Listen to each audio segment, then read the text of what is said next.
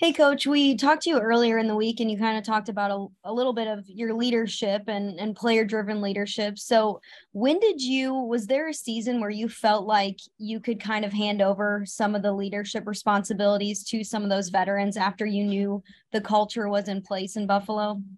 Yeah, I would say, Manny, probably uh, the middle of the 2020 season, uh, you know, with the pandemic and everything, I felt like that was, you know, probably the the start of it more than anything. But I think it's kind of resets every year a little bit until you. I think it's earned, right? That that's a that's an earned uh, responsibility, and and uh,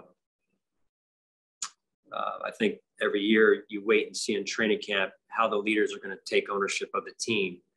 Um, you know, by word and deed and, and by example. So when they do that, then you can hand it back every year at, at a certain point and with how those players have earned that leadership and, and the right to to be in some of those decision making conversations this season how proud have you been of of the leaders in this locker room this year?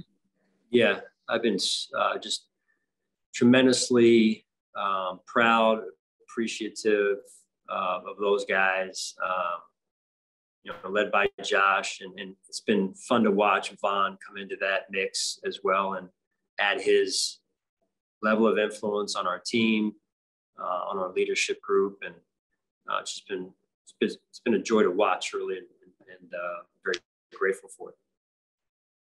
Thanks, Coach. Sure.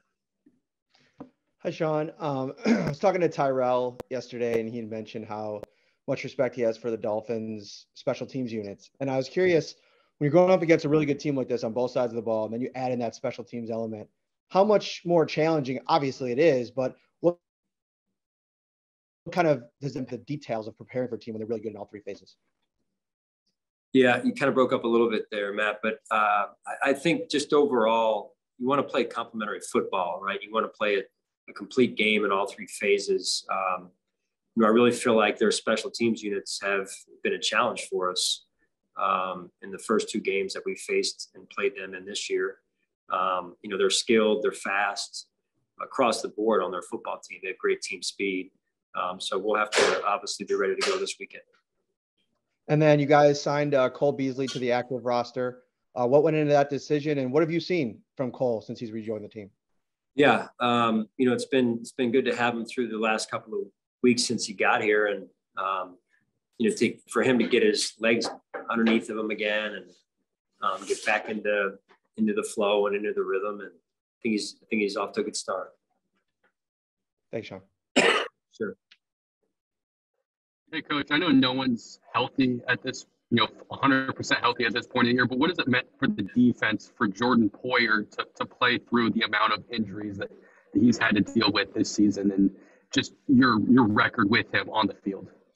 Yeah, um, he's done a really nice job. Um, he's you know he's he is so tough uh, I just have so much respect for who he is as a person, who he is as a player. Um, obviously, he brings a certain mentality to our defense, and, and it's and it's been uh, great to have him out there. And then you're you're facing Miami for the third time, kind of similar to last year, playing the Patriots three times. But how hard, difficult is it to win? You know, to beat an opponent in your division multiple times in a season? Yeah, um, you know they've beaten us once and we've beaten them once. Um, so you know here we are in game three, and I think uh, you know what, what it comes down to is is uh, our focus and, and our level of execution. They're a good, really good football team, well coached, and uh, um, like I said before, they've got great team speed. So uh, it's important that uh, you know again we we prepare like we need to prepare and stay with our process. Thank you. Coach, good morning. Mookie Harkins, Waffle Sports Cincinnati. How you doing? Good, Mookie. How are you? I'm good. Thank God it's Friday, right? so, Coach, uh, just just tell us what has the mood been like, uh, you know, this week overall for practice with you guys? Yeah, I mean, they're, I would say, pretty pretty much, um, you know, a normal week for us of preparation, a normal focus. Um, you know, we'll go out there in a few minutes here to practice on our, on Friday and and uh, continue to try and add detail to to the game plan. Yeah, I, I kind of jumped in late, but um, how do you prepare to face number 10? Uh, he's a weapon that Miami uses a lot, whether it's motioning him or maybe even returning punts. He's done that in the past against you guys. Or are you prepared to him even lining up in the backfield? Yeah, they do a really good job um, of moving him all around. And um, like I said, they have great team speed, you know, with 10 and 17. And um, so we'll have to, you know, make sure we're on our details and know where our help is and play with good leverage. Absolutely. And uh, you know it's going to be a crazy atmosphere on Sunday. Uh, what is your message for Bills Mafia if you got any? Just keep being themselves, man. They're they're uh, they're the top fan base, top fans in the league, and um, you know just keep being them. Absolutely, Coach. Good luck Sunday. Appreciate that. Hey, Sean, I just had one more quick one. I was talking to Nyheim this week also, and you know we've talked a lot about what he did last week, but I'm interested from a personal perspective. I mean, just the what he's kind of gone through to get up to speed. He said that some of his stuff still hasn't arrived from Indianapolis, and he's been trying to learn the playbook, and you know he's acclimated so well in the locker room. What have been your impressions of him personally? Uh, just very impressed with who he is. Uh, he's he's a little bit on the quieter side, but a, a great young man um, just high character guy. It seems like, and um, I think it's I think it's great. It's a great example of someone earning earning the respect of of one's teammates to come in during the middle of a season, um, especially as a veteran player via trade, is not easy. Um, and he just took it one day at a time, continued to work at it, he had a lot of things going on, you know, off the field too, like you said, that help that become challenging to trying to learn the playbook, to try and, you know, endear yourself to your new teammates and coaches. And he just stuck with it. And then uh, what he did this past weekend, obviously not by himself, but what he what he did, I think really, I hope helped him feel, um, you know, as a true part of the team now uh, in the Buffalo Bills uniform. Thanks, Sean. Hey, Sean, you've got a couple rookies that are about to play in their first NFL playoff game. And I know some of these guys are no stranger to big games from what they did in college, but is there anything extra that you have to say to some of these guys like Kaiir or James going into this game with it being their first pro postseason game?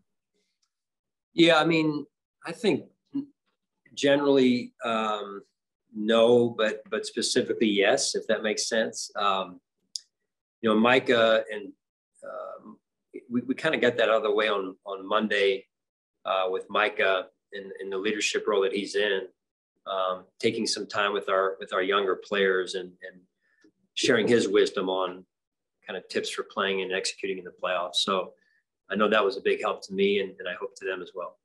How I guess um, beneficial is it that guys like Kaiir and James have gotten so many reps and so much playing time throughout the regular season going into this game that you know it's not like they're just being thrown in there like they they, they played a lot of reps this season. Well, that's what you, I mean. Uh, you know, the the NFL has changed into a, in some ways, a young a young players league. Um, it used to be, you know, you get drafted in the probably anything other than the first round and you're going to sit for a year and maybe be a backup and play special teams. And now it's um, you're expected to contribute in, in, some cases rather early. So um, i think that all bodes well though for later in the year. And then one more if i can. I know we talked a little bit about what how dean was able to step in last game and start. I guess just what have you seen from him in this short period of time since he's he's been back. Yeah, um, it's been it's been fun to watch him rekindle some of the at least in person friendships that he's had. Um, even though he's kept those friendships and relationships, um, to see him reunite in person with um, guys that he's been friends with uh, for so long here, um, and then on the field, just you know, I applaud him. He waited his turn. He waited his turn. He waited his turn, um, and and never got his chin down. I'm sure it was, you know, frustrating at some points. And, um, and now for him to be able to play, um, I think is a great example of just putting the team first and then being ready when your number's called. Thanks, Sean. Appreciate it. Yep.